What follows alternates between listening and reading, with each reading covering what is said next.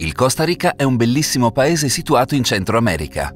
È pieno di fauna selvatica unica e formazioni vulcaniche e la sua gente è tra le più felici della Terra. È un luogo noto per i suoi numerosi siti archeologici unici, come l'antica città di Guayabo, abitata più di 3.000 anni fa.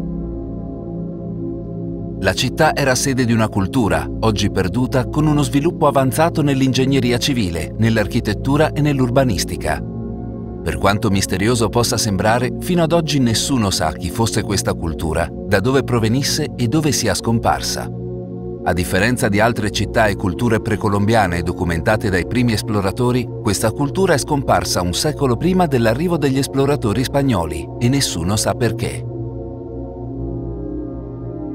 L'unico motivo per cui sappiamo qualcosa su di loro è a causa degli acquedotti altamente sofisticati, dei serbatoi di stoccaggio dell'acqua, dei tumuli di pietra, dei sentieri acciottolati e di varie altre strutture rimaste nell'area. Gli acquedotti e le cisterne di stoccaggio dell'acqua erano così ben costruiti che funzionano ancora oggi, migliaia di anni dopo la loro creazione. Eppure, per quanto interessante e misteriosa possa essere questa cultura perduta, i suoi risultati impallidiscono rispetto a quelli di un'altra civiltà antica perduta, quella che ha lasciato dietro di sé centinaia di enormi sfere di pietra megalitiche scoperte in varie località del paese.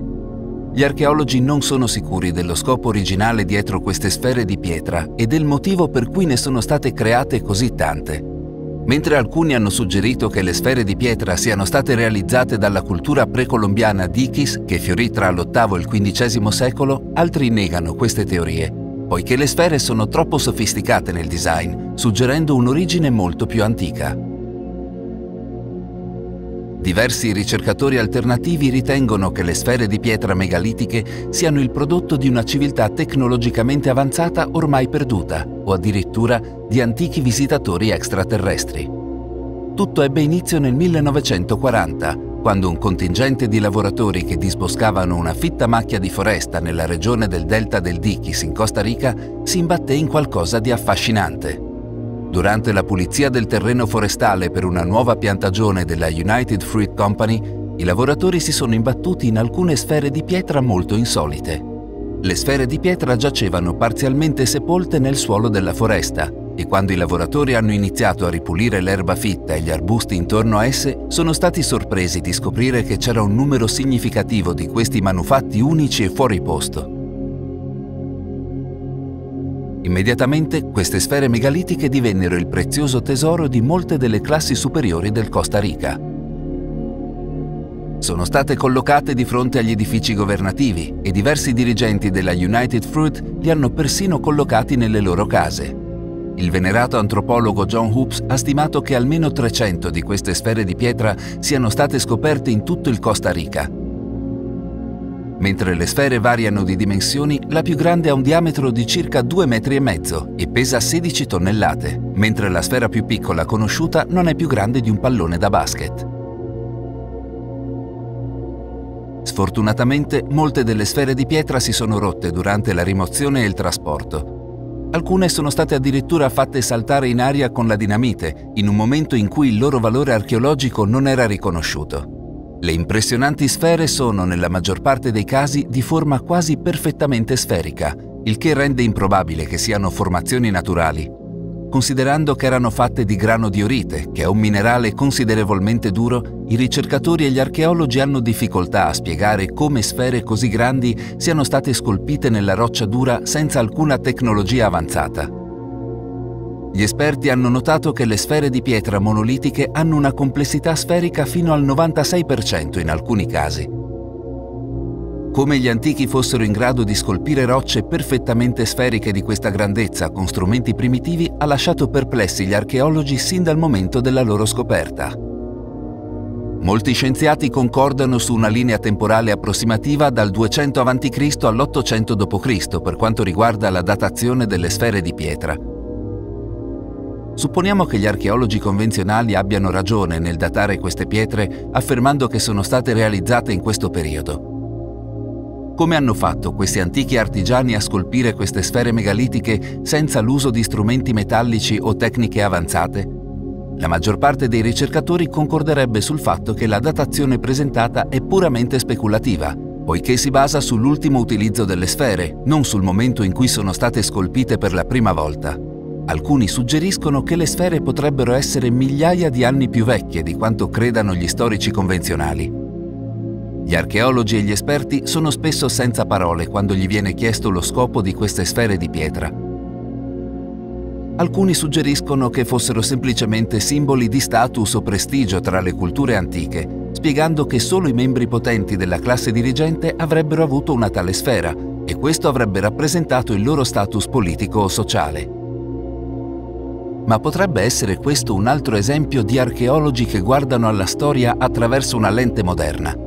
Il fatto che membri della United Fruit Company le usassero come status symbol significa che i loro ex artigiani le usavano allo stesso modo? C'è di più nella storia di queste sfere insolite. Molte altre teorie sono emerse nel corso degli anni. Alcuni suggeriscono che si tratti di reliquie legate ad altri siti megalitici in tutto il mondo, come Stonehenge e l'isola di Pasqua, e che tutti questi siti enormi e inspiegabili fossero il prodotto di una civiltà globale ormai perduta. Alcuni suggeriscono che le sfere fossero strumenti di aiuto alla navigazione usati negli allineamenti astronomici. Anticamente potrebbero essere state collocate in particolari allineamenti che rifletterebbero varie costellazioni nel cielo notturno, una sorta di mappa stellare. Le sfere potrebbero anche essere state allineate con il movimento del Sole e di vari altri corpi celesti. Questo potrebbe essere stato usato nelle pratiche rituali per indicare varie parti dell'anno legate a cicli particolari.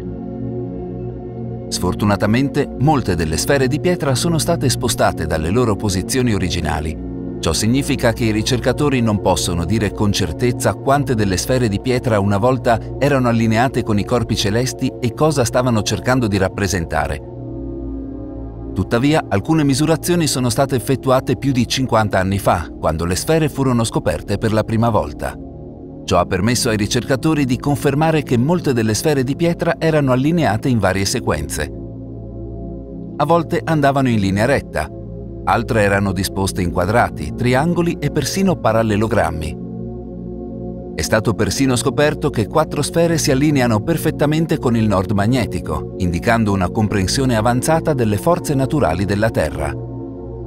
Sebbene la conoscenza del magnetismo risalga ben prima del 600 a.C., è stato solo nel XX secolo che gli scienziati hanno iniziato a comprenderlo appieno e a sviluppare tecnologie basate su questa conoscenza. Allora com'è possibile che i creatori di queste sfere avessero una conoscenza così avanzata migliaia di anni prima che la civiltà moderna la scoprisse? Un altro aspetto insolito della loro scoperta è che alcune delle sfere di pietra sono state trovate su tumuli artificiali. Nel nostro video sugli antichi giganti, dove mostriamo tutti i tipi di scoperte di scheletri giganti, la maggior parte degli scheletri sono stati trovati in antichi tumuli funerari nel Nord e Sud America. Significa questo che le enormi sfere di pietra erano in qualche modo collegate alle antiche razze di giganti menzionate da ogni cultura del mondo? Naturalmente, se chiedi agli archeologi moderni, lo negheranno fermamente. Infatti, la maggior parte delle sfere di pietra in Costa Rica risalgono al 200 a.C. e all'800 d.C., perché quando gli insediamenti intorno al fiume Terraba crebbero di dimensioni e attraversarono un periodo di sviluppo culturale. Per questo associano le sfere megalitiche alla cultura d'Ichis, che prosperò nel Rio Grande de Terraba. Questa cultura aveva complessi sistemi sociali e politici e nella zona in cui vivevano abbiamo trovato anche grandi edifici costruiti con massi, strade lastricate e diversi tumuli murati. Qui sono state scoperte anche intricate ceramiche e oggetti d'oro e tutti risalgono alla cultura d'Ichis. Tuttavia, le sfere di pietra megalitiche sono troppo sofisticate e troppo massicce per essere state costruite da questa cultura. Vari ricercatori alternativi hanno sostenuto che le sfere di pietra appartengano in realtà a un periodo molto più antico e forse a una civiltà ormai perduta. È stato suggerito che la cultura d'Ichis potrebbe effettivamente aver ereditato molte delle più grandi sfere di pietra megalitiche della zona e che le venerassero per le loro dimensioni. diversi capi locali furono persino sepolti con alcune delle sfere di pietra molto più piccole dopo la loro morte. Dopo la conquista spagnola, molte delle culture d'Ichis scomparvero o furono uccise da malattie e guerre, lasciandoci pochissime leggende sull'origine delle sfere. Dopo questa invasione spagnola, le sfere furono lasciate nelle foreste e nelle giungle e furono dimenticate fino a quando non furono riscoperte negli anni 40. Ma è possibile che le sfere di pietra siano state lasciate da un'avanzata civiltà perduta scomparsa dai documenti storici? Ebbene, alcuni ricercatori direbbero di sì, dal momento che il Costa Rica non è l'unico posto in cui troviamo queste enormi sfere. Infatti, gigantesche sfere di pietra megalitiche sono state trovate anche in Bolivia e perfino in Nuova Zelanda. E la cosa più scioccante è successa nel 2004, quando gli archeologi hanno trovato una collezione di sfere di pietra simili dall'altra parte del pianeta, in Bosnia-Herzegovina. Qui le stesse identiche grandi sfere di pietra sono state scoperte sparse lungo il letto di un ruscello e tra il fitto sottobosco di una foresta vicino alla città di Bania Luka. Infatti una delle sfere, rinvenute parzialmente sporgenti dal terreno nella località di Zavidovici, era di dimensioni sorprendenti. Era larga 3 metri e pesava circa 40 tonnellate, rendendola la più grande sfera di pietra mai registrata sulla Terra. Inizialmente i ricercatori sono stati in grado di affermare che la grande sfera ha un alto contenuto di ferro, il che potrebbe indicare un uso funzionale del megalite, ma quale fosse questo uso rimane un mistero. Il dottor Osmanagic, noto anche come l'Indiana Jones bosniaco, è un autore e ricercatore noto soprattutto per il suo lavoro nel tentativo di scavare la piramide bosniaca vicino alla città di Visoko. Abbiamo un intero video sulla piramide bosniaca e se vuoi saperne di più puoi guardarlo facendo clic nell'angolo in alto a destra o sul link nel commento in basso.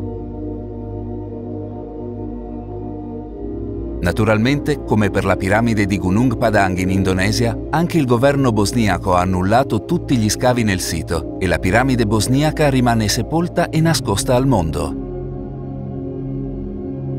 Tuttavia, prima che gli scavi venissero annullati, il dottor Osmanagic registrò che erano state trovate sfere di pietra in più di 20 diverse aree della Bosnia, tutte realizzate con alcuni dei materiali più duri sulla Terra, come granito e pietra vulcanica, sebbene alcune erano realizzate con materiali più morbidi come l'arenaria. C'erano più di 80 sfere di pietra sparse per la Bosnia, ma una leggenda locale sosteneva che l'oro fosse nascosto al centro di ogni sfera.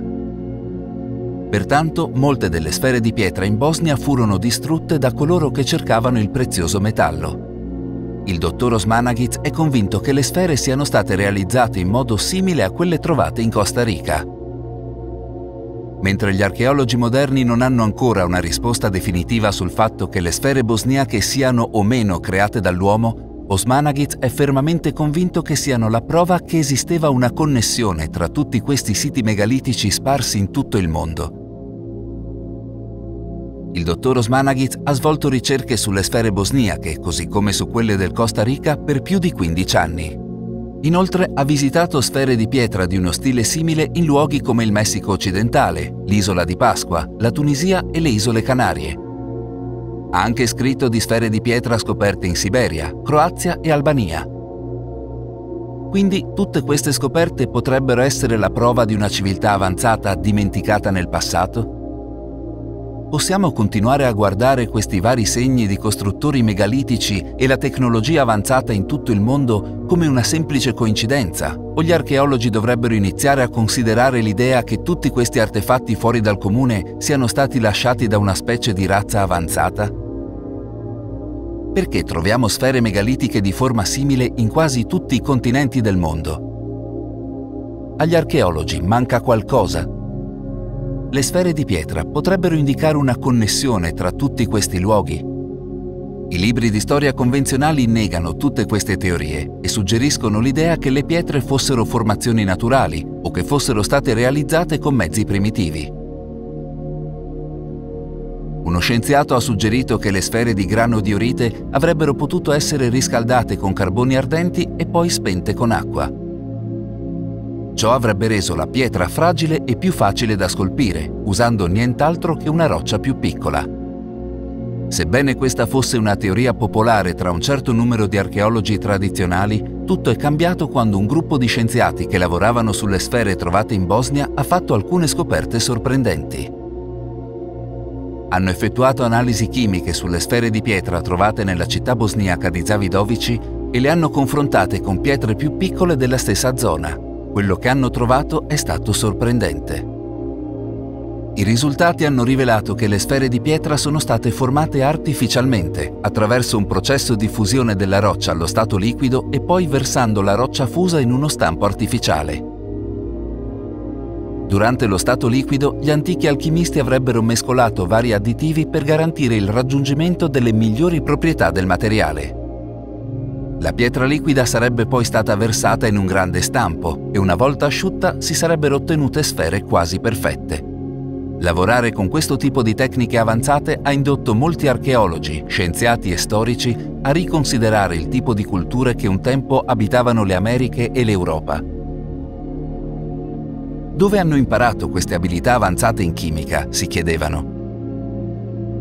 Secondo le leggende locali di questa parte del Costa Rica, le sfere di pietra furono usate come palle di cannone durante una grande antica guerra tra gli dei. La leggenda locale dice che il dio del tuono le usò come armi per scacciare il dio del vento e degli uragani. È quindi possibile che questi cosiddetti dei fossero una specie di esseri extraterrestri che si facevano guerra l'uno contro l'altro? Potrebbe questo spiegare perché le sfere di pietra si trovano in luoghi separati da migliaia di chilometri.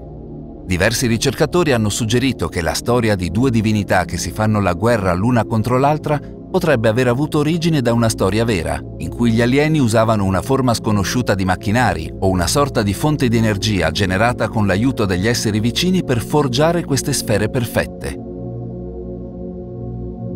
Forse questi esseri hanno saputo posizionare queste pietre in modo tale da iniziare a sfruttare l'energia della Terra, nello stesso modo in cui abbiamo parlato nel nostro video delle piramidi di Giza come generatori di energia. Se non l'hai visto, ti lasciamo un link nei commenti.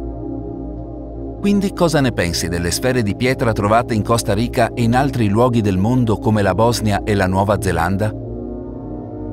Sono opera di esseri primitivi che usavano acqua e rocce per martellare le pietre in una forma quasi perfetta o c'è un'altra risposta? Possibile che dietro la costruzione delle grandi sfere monolitiche di pietra ci sia una civiltà avanzata? Una razza con una vasta conoscenza della chimica che potrebbe facilmente sciogliere la pietra dura in uno stato liquido usando una qualche forma di macchinario o qualche tipo di dispositivo di energia di frequenza? Queste sfere di pietra erano usate per tracciare le stelle nel cielo notturno o erano usate come un'antica mappa stellare per i visitatori di un altro pianeta, come suggeriscono le leggende locali? Dici cosa ne pensi nei commenti qui sotto. Ancora una volta, grazie per aver guardato. Lascia un mi piace a questo video e assicurati di iscriverti al nostro canale se non l'hai già fatto. Puoi anche premere il pulsante di notifica in modo da non perdere il nostro prossimo video.